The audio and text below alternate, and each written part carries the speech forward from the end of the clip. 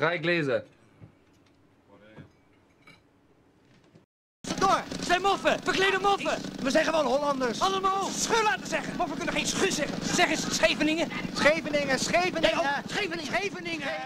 Shibboleths. A shibboleth can be used as a form of password. They were used during World War II and throughout history as such. Generally speaking, shibboleths are customs specific to a group or class of people. This can include ways of phrasing sentences, pronouncing words, or even using hand gestures which are foreign to outsiders.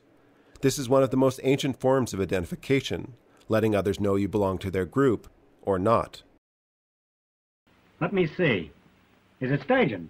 Eh, hey, you're crazy. Sturgeon, he's a doctor who cuts you open when you're sick. Now, I give you one more chance. I got it. Haddock. That's a funny. I got a haddock too. We use shibboleths every day. Some people might call pop soda or ketchup catsup. Kids. I'm in way over my head. The word shibboleth is Hebrew in origin, with its original meaning being part of a plant containing grain. Its modern use derives from an account in the Hebrew Bible, with the word's pronunciation used to distinguish a specific tribe in ancient Israel. Shibboleths were used frequently in World War II, just as highlighted in the movie Soldier of Orange.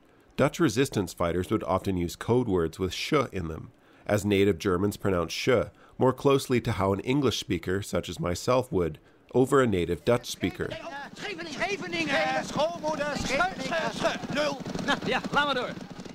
Signs and countersigns used by allies also took into consideration words that were difficult to pronounce for non native English speakers.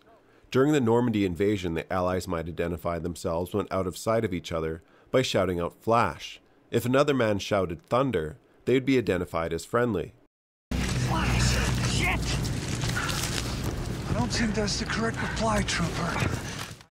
Thunder was chosen as a code word as the TH sound can be hard to pronounce for German speakers. TH usually is replaced with a D sound. Duh might sometimes replace the, for example. Into the boat! Into the tunnel! Get to the chopper! Likewise, in the Pacific Theater, Allied troops might use code words with numerous L's in them. Lollapalooza was one such shibboleth used to challenge unidentified persons. Japanese infiltrators would sometimes approach American checkpoints, posing as Asian Americans or Filipino military personnel.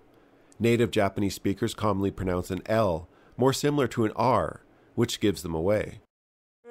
Shimuru Tanensori. Shimuru Tanensori. Uh, Shimu. Shimu.